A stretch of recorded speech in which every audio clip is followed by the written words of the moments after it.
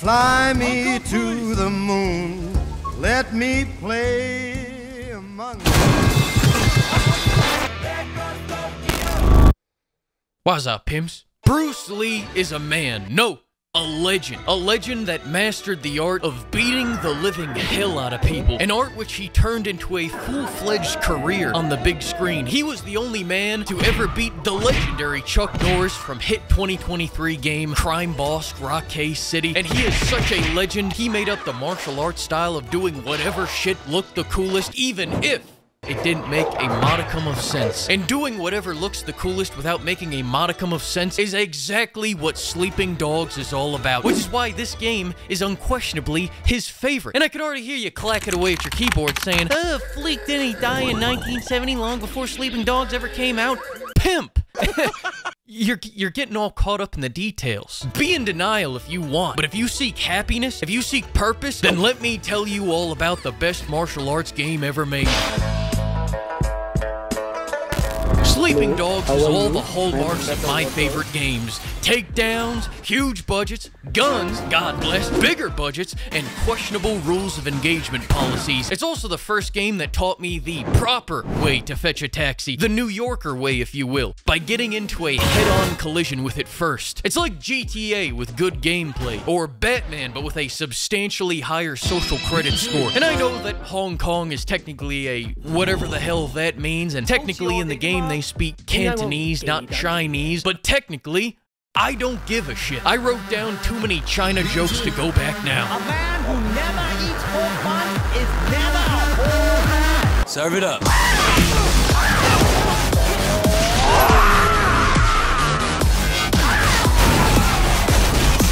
Hey, boys, this is the fucker who's been trashing us.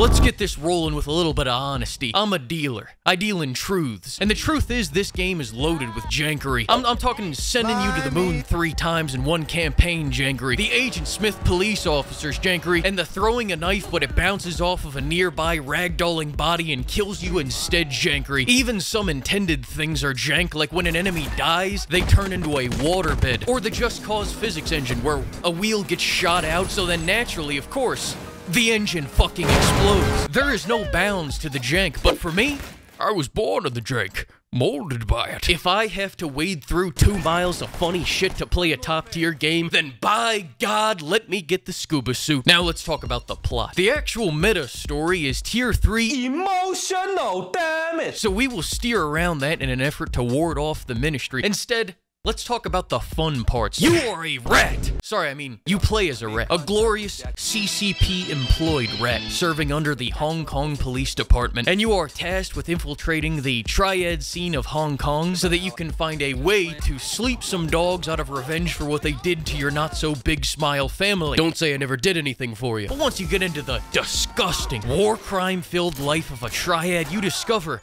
that this shit is pretty swanky, I'm not gonna lie. It's all fast cars, fast fists, and fast women. What more can a man want? Only trouble is when you show up and then five police cars show up and then you change outfits and become part of the police squad, people tend to bridge that gap pretty quick. And then you have to bridge a gap between them and the fat folds of our glorious Buddha. Even your motherfucker right here's gang interrogates you. I a rat. Because somehow they got this outrageous idea that me, I am a police officer of the law.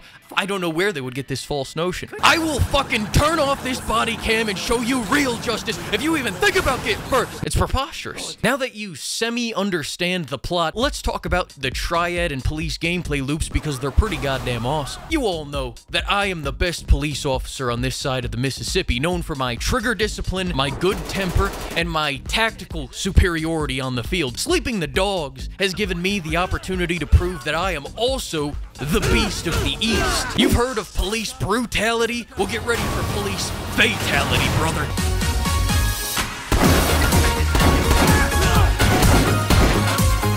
Side activities include beating up loiterers, shooting loiterers, rear-ending and executing a traffic stop, hostage negotiation, The suspect was hit. Nice shot. and hacking. I'm sorry, hacking. This has about the difficulty of putting on a blindfold and trying to put the right shape into the right hole. It might take a minute, but if it takes anything more than that, our glorious China will have to send you to a special amusement park we call the labor camps. Still more advanced than Watchdog. I also have a no hostage policy, as in, being that I'm a staunch supporter of the Fred White and Blue, God bless, I don't negotiate with turds. Mission Command does not condone this stance. And on the other hand, the Triad side activities don't exist. That's just the main missions. You don't need any extra missions because it's already very easy to improve your triad social credit score. All you have to do is pretend like you're participating in a peaceful protest for a few minutes and you'll get three stars just like that. Meanwhile, I try to LARP as your average American police officer and everyone loses their minds. Now I have to do 10 side missions to keep pace with my thug progression. You see what I'm getting at? I think the closest thing that you can get to probably a triad side quest are the face missions. My favorite of which being this one where the guy commits escalating crimes against the Popo, starting with What do you need?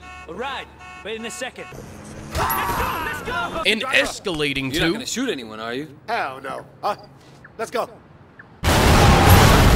Now time to talk about the grind. Although I wish I could simply become whole man by eating pork bun, upgrading is instead tied to the activities I previously discussed. Unless of course you're talking about the upgrades that actually matter, because the vast majority of new moves that improve the combat drastically and actually add combos to the game are obtained by turning statues into Yoda over here. Give him a statue and he will let you beat his defenseless white belt students bloody until they have to drink out of a sippy cup just so that you can grasp the idea of how to break a man's leg. Not for real though, YouTube. Look, he's all good.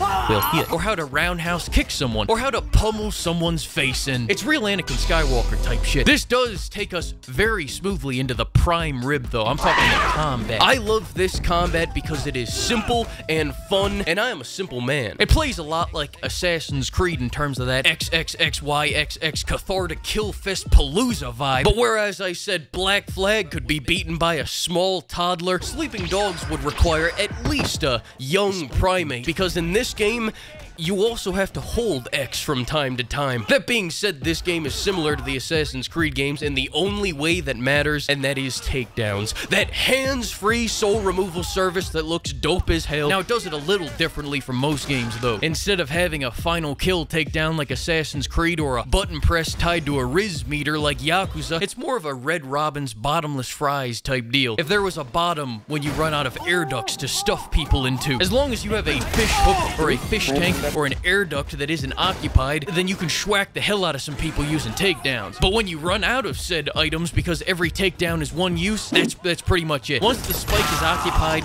you can't start piling it up like a shish kebab. It just doesn't work like that. At that point, what you have to start doing is looking for railings so that you can launch people over them. I'm gonna keep saying words just so that I can keep showing you this because this move brings me immense joy. Don't have an edge near you? Don't worry about it, pimp. Then you can always snap their neck with a running head start and a mighty heave. Then all the rest is just a whole lot of flying knees and kicking. Unless you change your outfit to one with much more power like the Drunken Fighter. This gives you the power of an alcohol addiction. Although you do have the Hitman, Ip Man, Metal Man, Bruce Man, or GSP outfits, at most, these give you maybe one new move. But with the Drunken Fighter, Flying Kick turns into Flying Body with a pose when you land. Your left and right counters turns into an opportunity to drink, and then you have the Defib Punch and the Epileptic Drop Kick. This completely ruins your combos, but it is worth. Before I move on though, Honorary mention to the Wukong outfit that lets you summon a magic staff, and the Just Cause 2 outfit because it signals that I am better than you. I do have to admit something to you though. I did omit a move set from the last part there, and that is the art of the strap. The art of freedom. The art of shooting little soul catchers. You know how I said this game was the best Batman game? Probably not, because I deleted that line. Well, it's also a pretty damn good Punisher game, except you ride around in a minivan and have to take your guns off of police officers on their lunch break, or off of the criminals, because despite strict Hong Kong gun laws, somehow I can still walk into an underground tunnel and find a bukkake of military-grade lead. Imagine that. Which forces me to use ancient Chinese wisdom to launch myself to safety. And I'll speedrun the rest of this because I really want to talk about cockfighting. The strap, the metal, the heater, the gun feels fantastic. However, What Danny Phantom bullshit am I looking at here? It appears their leg hitboxes are about as real as Taiwan. Anyways, I'm done talking about guns because, ladies and gentlemen, Let's get ready!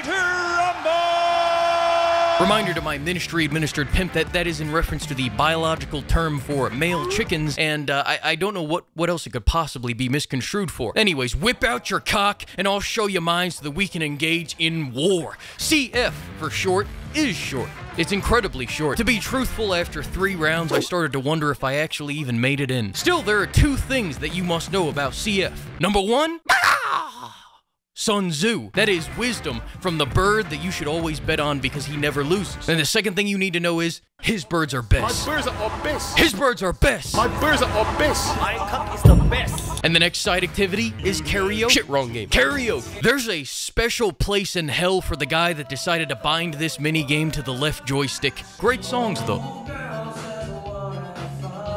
And to top it all off, we have the most important side quest line in Sleeping Dogs Spittin' Game. What's up, pimps? It's time to get some bitches, yo. Have you seen my Lamborghini? Neither have I, because I have a Bugatti in Forza. The chicks dig it. There are about six dates that you can do in this game, and the difference between you and me is I've done all of them consecutively. Wake up, hit up, bang up, hit up, bang up, repeat. One calls being all jealous, saying I cheated.